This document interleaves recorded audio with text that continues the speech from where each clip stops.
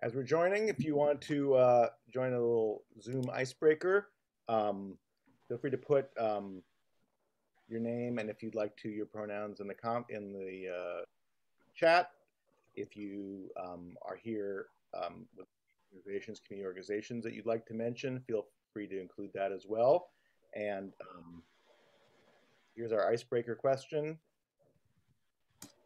Would you rather go into outer space or explore the ocean? have to pick just one. So let us know which you'd rather do. And feel free to introduce yourself as we get ready to get going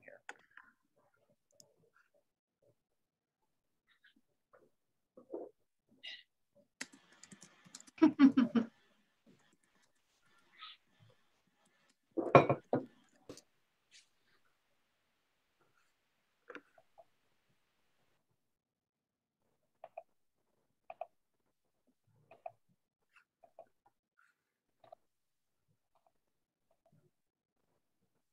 coming in. Haha, too lonely in space.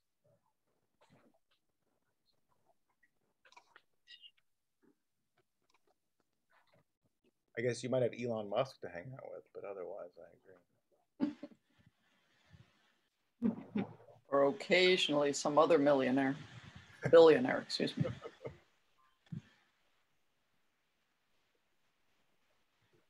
Yeah, I think uh, looks like it's a strong night for ocean in this icebreaker. Look at that. It's not a good night for the space enthusiasts.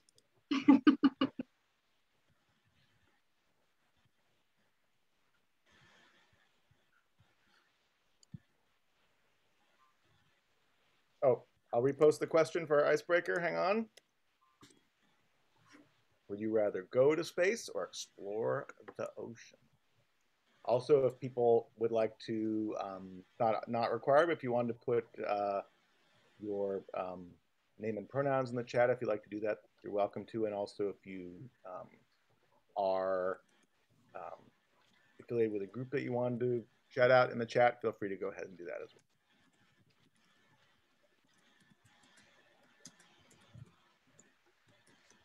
And I see us, yep, I think we're checking the time and seeing that we're starting to really fill up here. We have a lot of interest in this event. We're excited to get things started. I think um, it's time for us to get going here. So feel free to continue breaking the ice in the chat if you'd like. But meanwhile, I just want to welcome everyone to the Montgomery County Climate Visioning Summit, which is co-hosted by 350 MoCo and by Chesapeake Climate Action Network. Uh, before we begin, just a few quick tech reminders. Um, first of all, please do mute yourself when you're not speaking. Um, and by now, we're all pretty experienced Zoomologists, but if you are um, not totally set in how to do that, you can look for the microphone icon, the bottom left side of your Zoom menu, and you can mute yourself right there. Um, that's going to help us keep the conversation flowing and clear as we do our event. Um, second uh, tech announcement is we are recording this event. Um, if you do not want to be included in the video, um, you please do turn off your camera. Your camera button is the one that says stop video right next to the mute button. So that's something that we can all do if you don't want your image on screen. Uh, and with that, I think we're going to get into our packed agenda. We have a lot to do tonight. So um, you can see the overview of the agenda already up on the screen share. First, we're going to start off with two amazing speakers that are going to kind of start to focus us on why we're here and what we need to get done um, for this Energy Foundation planning process. Um, our first speaker will be our delegate from District 20, Lorig Charkoudian. She'll be discussing what's on the horizon for state level climate policy going into the next legislative session and why it's so important to be involved in these policy conversations. Uh, Laura will take a few questions um, afterwards while we have time. So um, while she's speaking, if you have a question, put in the chat and we will read those out and answer those as best we can while we have time. After Lorig, I'm excited to introduce uh, Hasham Khan. He is a Montgomery County climate activist and works with the uh, Montgomery County Green New Deal Coalition internship program. He's going to talk a little bit about his personal experiences working as a climate activist in the county and what he sees going on in the community. Uh, and then after our speakers, I'll be kicking it over to my um, co-host, Emily Frias from CCAN. We'll talk about our project to develop a bold climate platform for the 2022 legislative session, and then we'll talk about the focus groups where we're really going to spend most of our time. We are we um, got a lot of folks' votes and interest in focus groups, and as a result, we've set up um, three focus groups. Although we're excited to report there's been so much interest in uh, one of them that we are going to do two sections of the uh, Group A, renewables and buildings less fossil fuel. Um, and those groups, in those groups, which will have we have fantastic, highly qualified expert facilitators. They will be guiding us through a discussion about what we're seeing in our communities on climate, renewable energy, and how we can build the climate here in Maryland. And don't worry, if you haven't aren't sure what group you want to be in yet, um, you will have an opportunity to self-select the group um, as we prepare for the breakout. So you'll be able to pick the one that really speaks to you and to what you want to get in on right away. Um, and with that, I would like to take an opportunity to want to introduce District 20 Delegate Lorig Charkoudian. Great. Well, thank you.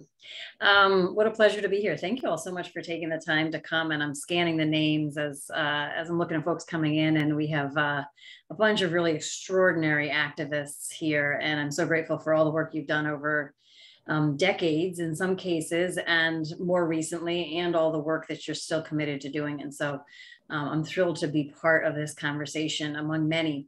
Um, so I'm talking a little bit today about why state level policymaking is so important. I think, uh, again, when I'm scanning who's here, I know that many of you have spent a lot of time and effort in both county and state and federal level policymaking. So um, you know a lot of this already, but I'm just going to quickly talk about really historically in this country, as we know up until this point, uh, it all, almost all of the really significant climate work has been done at the state level.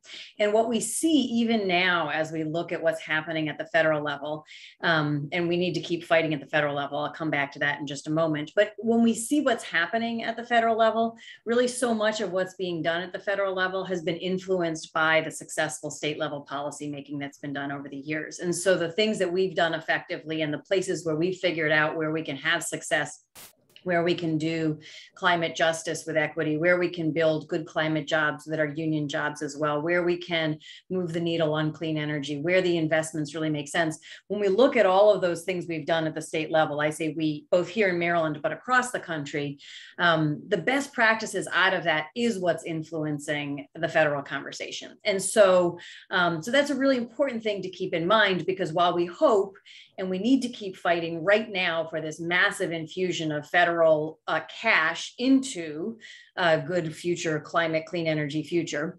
Um, we also need to keep the states at this sort of cutting edge place because in a few years we'll want to be back at that federal level pushing the needle even further. And so it's really important that, um, you know, we can walk and chew gum at the same time. It's really important that all of us are continuing to push at the federal level. I know many of you are, and that we're keeping our eye on, on the work at the state level. And even, no, we're not really talking so much about the county level, but then if you drill down a little bit further, what we do at the state level is also then influenced by what we do at the county level. And so in Montgomery County, you know, we've had this opportunity to sort of be on the cutting edge and and um, you know with with plastic bag with waste with um, clean energy with all of these things that then have the ability to influence um, what we do at the state level. So um, strongly encourage folks to sort of keep our eye on, on all of those, those tiers.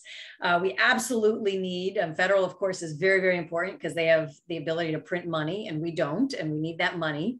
Um, but then the next reason that the state level decision making is so important is because how we spend that money, even when the money comes into the state for clean energy, how we make those investments in the state can determine which kinds of clean energy, what definitions we're using for clean energy um, and how clean that clean energy is, but also how equitable that clean energy is. So that money comes in, and hopefully, some of the money that comes from the federal government is going to come with strings attached for equity, is going to come with strings attached for good jobs, but probably not enough. And so we're really going to have to do the work at the state level to put in um, the context and the structures and the ways and the priorities we're going to make those investments so that we take whatever federal money we could possibly get our hands on and invest it in real clean energy, but in clean energy that builds the good jobs and in clean energy that's grounded in equity and grounded in our ability to transform our economy completely into one that is clean and just.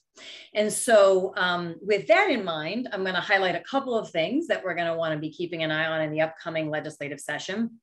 Um, of course, we have um, you made some great success, uh, sorry, made some great strides on the transportation end of things. We made some good strides last year um, with the, the Transit Safety Act, and we need to override that veto, and I believe we will. It'll be front and center probably in a special session um, that will have this December that'll focus primarily on redistricting, but we'll also do all the veto overrides at that time.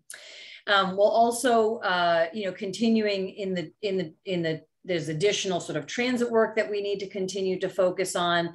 Really, that bill was kind of catching up to where we should have been you know last year um, so really moving forward with transit is going to be important moving forward with electric vehicles specifically something i've started to explore is how do we get the EV sort of transformation in a way that in, ensures equity, ensures the uptick in EVs, includes a lot of our lower income communities. And then, of course, EVs in terms of school buses and um, the, the places where, where you know children especially are breathing the fumes but also the places where the fumes of any sort of transportation is affecting um, a community's uh, air quality um, so then, of course, we have, uh, as folks know, the Climate Solutions Now Act did not pass at the end of last year. So a couple of key things in there. One is um, it is speeding up our greenhouse gas reduction emissions goals. Um, and then another really significant piece of that bill that didn't kind of make it into another bill um, before the end of last session is the building standards and the building codes. And so really we have this opportunity. It probably won't look exactly like that, but we have this opportunity this year to really um, do some, some good work around buildings um, and specifically on electrification of buildings, beneficial electrification across the board, all electric new construction. Um, they're going to be really intense um, fights around those issues, but that's a really key piece going forward. And then I think we're also going to see um, in the in the energy world, we're going to see um, some work that we can do on distributed energy. Um, there's going to be some focus. I'm, I'm looking and working with some of you on looking at our distribution grid. What is it we need to do within our distribution grid? The Public Service Commission is looking at this issue. What do we need to do within our distribution grid um, to make sure that the grid itself is designed to maximize um, to, to, to, to, maximize decarbonization, distributed energy resources, um, uh, microgrids, resilience, um, and there's a lot that can be done in how we plan that can maximize the clean energy, especially distributed energy, solar and storage on the on the grid. Um, and then, of course, um, the equity within energy efficiency. So I'm just going to plug my one particular bill of mine, which is um, low income energy efficiency. And I'm hoping that a combination of, of sort of the pressure from the last three years and some federal money that'll be coming this way will really give us a chance this year to invest heavily in energy efficiency in, in low income housing. So that's the quick overview. There'll probably be, there'll be some things to keep an eye on, certainly in terms of, um, in terms also of, uh, of resilience and adaptation. There'll be some things to keep an eye on in terms of agriculture and, um, and, and some other areas, but those are, those are some highlights uh, I wanted to mention. And I think that um, there's I don't know a minute left or five minutes I'm not sure uh, for for questions but I'll go ahead and take whatever it is the facilitators want to offer to me. Thank you so much, Delegate Charkoudian. Um, thank you for those comments for helping us out with this. Any questions for Delegate Charkoudian, please do pop them in the chat. And um, as long as she has time for us, we are, are uh, here for it.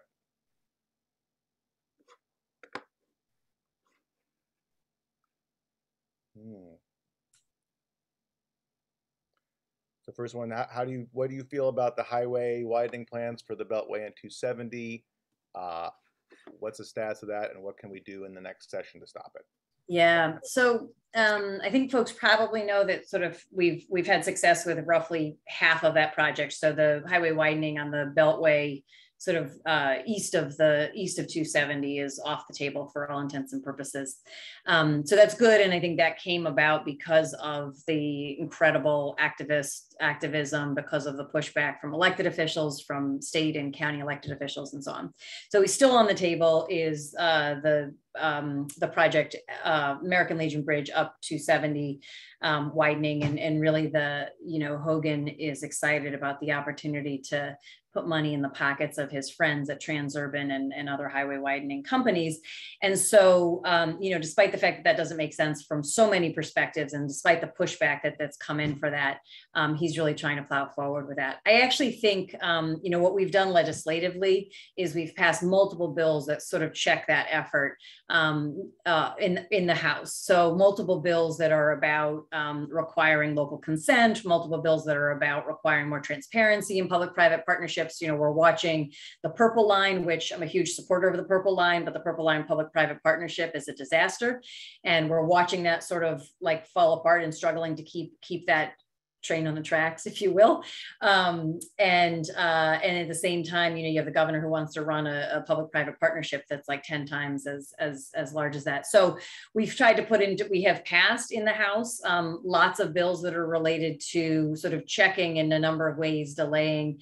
Um, and unfortunately, none of those have passed the Senate. And so we just don't really seem to have the um, traction in the Senate, the votes in the Senate, political power in the Senate to stop the project legislatively. Um, so definitely keep talking to your senators and engaging with your senators on that. I am briefly, cautiously optimistic that because there is um, you know, about a year and a, a, change left on the governor's um, tenure, that if we get the right governor into office, um, we can delay the project for long enough and there'll be lawsuits and other things and we'll have a new governor in there and we'll be able to um, to get ourselves out of it. There might be a cost to the state, um, but um, but we'll, we'll be able to pull ourselves out of that. Thank you so much. To let's see, I'm checking with my co-host here. Do you think we have time for for one more question, perhaps? Um, oh, let's just take one more. More quick. Um, let's see. So next uh, in line, oh, this, could you talk about why the Climate Solutions Now Act didn't pass and how we can do to pass it this time around? Um, yeah, so um, you know, there's funny things that happen in Annapolis that um, sometimes is hard for folks well, even those of us on the inside to exactly know what's going on. And it's very sort of committee specific. And, and this year, I think it was even harder to tell exactly what was going on because we weren't even all in the same room. We weren't even in the same room when we were voting. We were, as folks may have may have, have known, we were sort of spread across on the uh, two different floors essentially to be voting on. Um, and we certainly didn't get to have a lot of the interaction with um, both community members, activists, lobbyists, and senators that we normally have that gives us a chance to sort of sort out like what are your actual concerns about this bill. So I think that the the lack of sort of that normalcy and the ability, not that there wasn't any communication, clearly there was communication between the House and the Senate, and um, and there wasn't agreement on the final decisions about that bill. But I think the lack of those sort of informal spaces where we get a chance to to engage and communicate and work through work through those kinds of disagreements, I think that that was a real disadvantage as it related to this this bill. The other thing that I would say is that this year, because we had um, again in an unusual year logistically uh, we also had a lot of things that were uh, were a top priority for leadership, including things like police reform, which were really crucial to pass this year as well. And so, um, so because there was somewhat of a limited space and time for the negotiations and um, and other other priorities uh, that that we're going to get through. Um, this one sort of just didn't quite make it by the end of session, and I think that that's unfortunate. Obviously, we have to have um, you know, uh, the planet's on fire, and so we need to be moving these bills as as as uh, with as much priority as possible. But I think that that ultimately the sort of disagreements between the House and the Senate, we just we we just couldn't sort of pull it off in the time that we had and in the um, just in the the space and the way that that conversations and work was getting done. I am um, hopeful actually that we will pass something this year that will have a lot of elements of that. And we did end up, we ended up, people may or may not know, we ended up getting pieces, you know, like the tree planting, for example, you know, kind of sent them off on life rafts off of that bill and put them on other bills when it became clear that that bill wasn't going to make it through. So we, we got a couple of, of key components of that, but really the core of that, um, and especially the buildings work and the, the actual numbers around greenhouse gas reduction um, did not get through. And so we've got to do that this year. Thank you, Delegate Charkoudian. Um, checking the time, I think we probably, let's see, I'm looking, uh, Emily, perhaps do, do you think that yeah. one more, I probably should say thank I think, you. I think we should probably move on, but thank you so much, Delegate, for your great thank answers. You. Thank you. Thank you. Really appreciate it. Um, and I, uh, at this point, happy to introduce our next speaker, who is Hasham Khan. Hasham is a senior at Watkins Mill High School, um, and I know there's some folks here at this in this uh, meeting who were there and participated in this event. But Hasham was a leader of an extraordinary um, student-led climate justice protest that happened at the Executive Office Building and at um, Montgomery High School in August, um, at which um, you can correct me if I get the number wrong. I believe five local uh, youth climate activists risked arrest and were in fact arrested um, for demanding climate justice and action on climate priorities in the county. And um, Hasham um, was a leader in that um, protest, and he is also an intern for the Montgomery County Green New Deal internship program.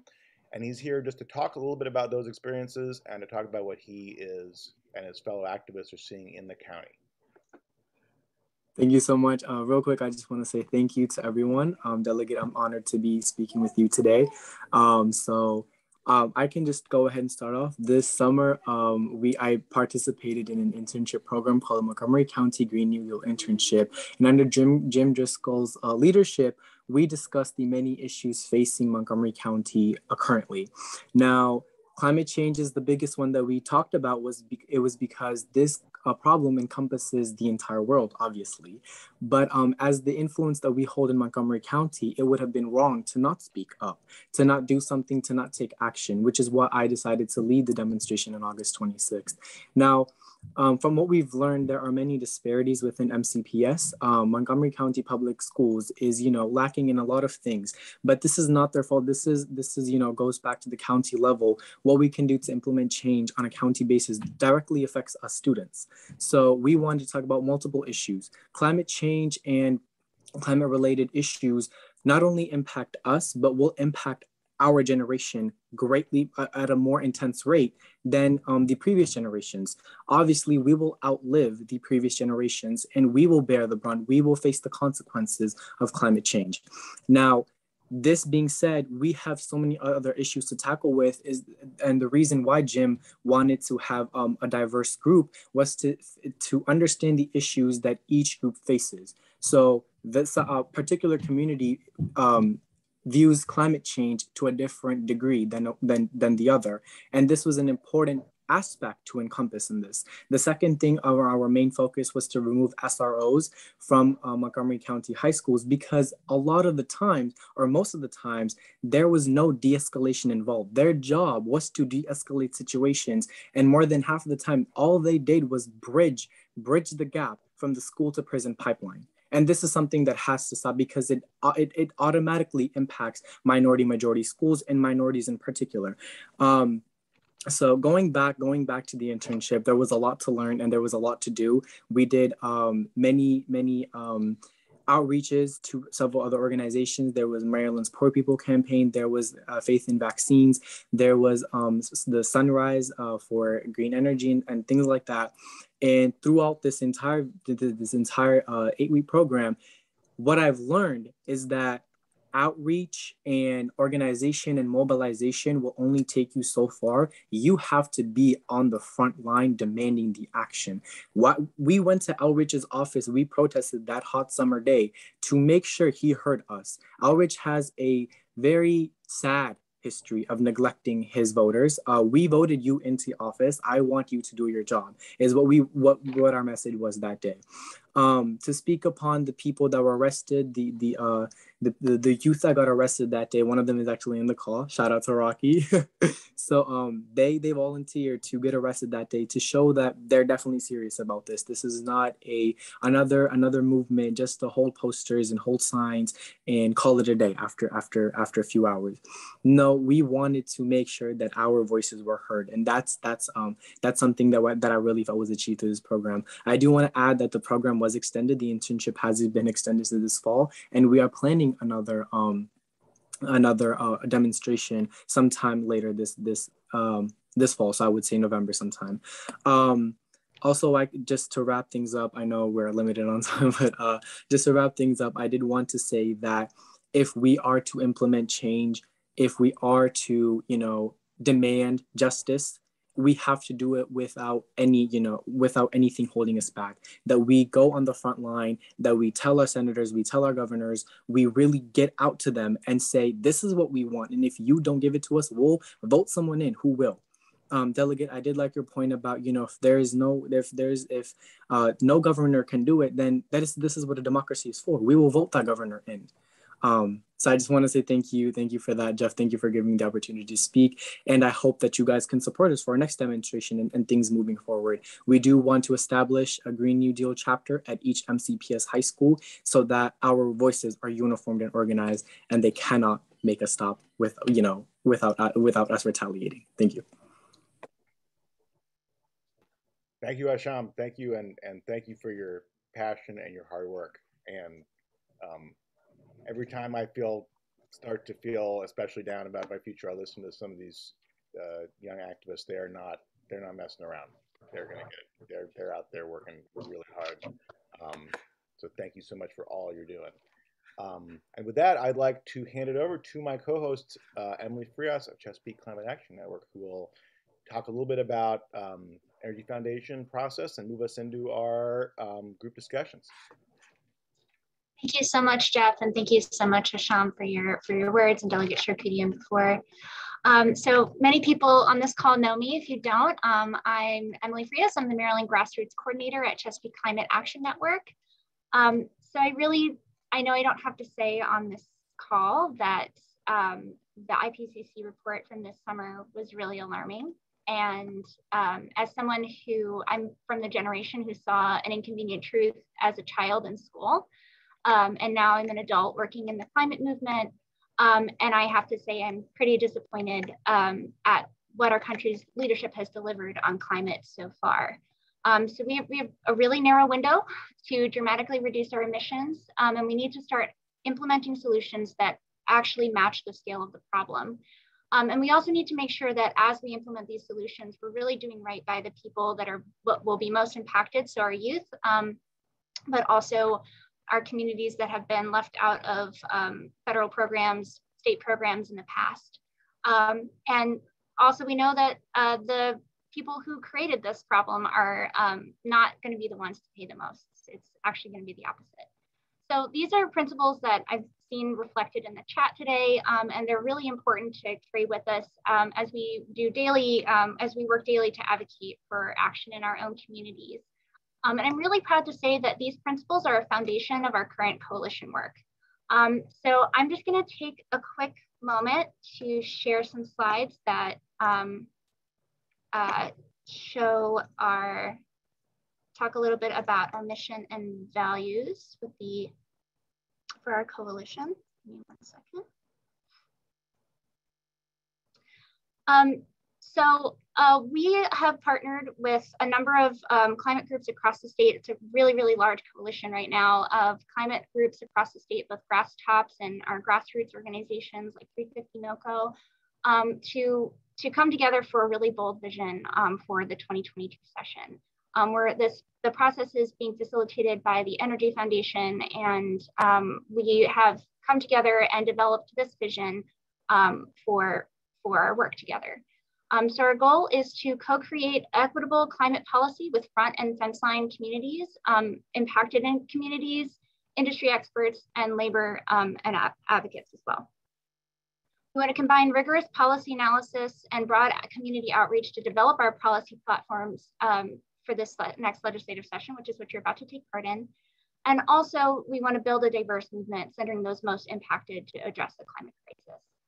Um, so as a key part of this process, um, we're conducting a survey and several focus groups like the ones that you're going to um, be participating in today. So we really, really thank you for taking the time to join us um, and really look forward to everything that you have to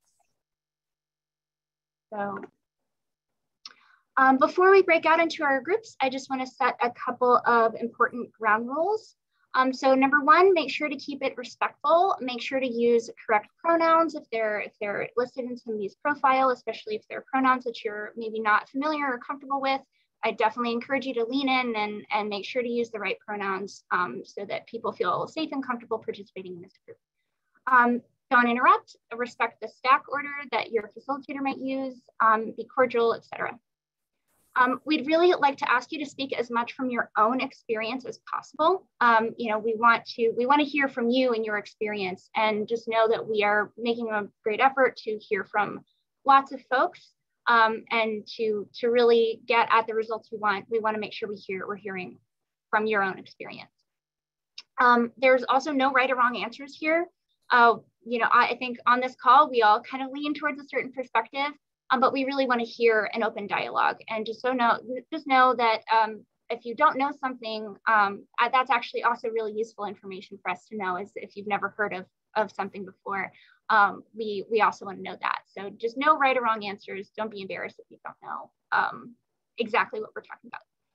I, would also like you to step up and step back for time considerations. We're going to be taking about two to three responses per question. Um, we also ran over a little bit of time, uh, so we're going to we're going to come back a little later than um, we were initially planning. So hopefully that'll make up for it. Um, but if you feel like you have a lot to say, uh, please take our survey as well. Um, that will that covers all the same issue areas as well as some more. So we really want you to, if you if you don't feel like you got to say everything you wanted um, in our upcoming sessions, please just um, take our survey as well.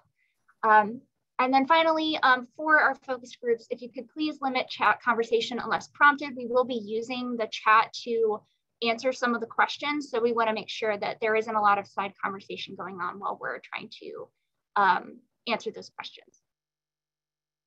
Alrighty, so So our breakout rooms, um, we're gonna open them now. Uh, so we'll have, um, as we mentioned before, two, uh, well, three groups focusing on renewable energy. Um, all of the renewable energy uh, groups will also discuss building electrification. Um, we'll have, uh, we had a lot of interest in discussing renewable energy and fossil fuels. Um, so if you are interested in that, join one of the two groups that focus on fossil fuels. If you're more interested in talking about building out renewable energy, join the renewables focus group. And then finally, we have a transportation group. Um, we also had a lot of interest in that. So you should see a prompt um, shortly with the rooms um, that you uh, can join. Um, and so go ahead and do that. And if you're having trouble joining a, a, a room, um, just hang tight and um, our tech person will sort you manually. Um, so it does return to plenary at 8.50. We're gonna return to the plenary um, at 8.55. Definitely didn't ask you about all of the different um, areas that we're looking at. Um, so if you, you know, if you were in one of the renewable energy groups, you probably didn't get asked a lot of questions about transportation, but you probably have thoughts about it. Um, so we really wanna hear from you. Um, our survey will be open through October 15th. Um, you can either, if you'd like, just go ahead and scan that QR code right now. Um, that'll open up uh, the uh, survey link in your phone.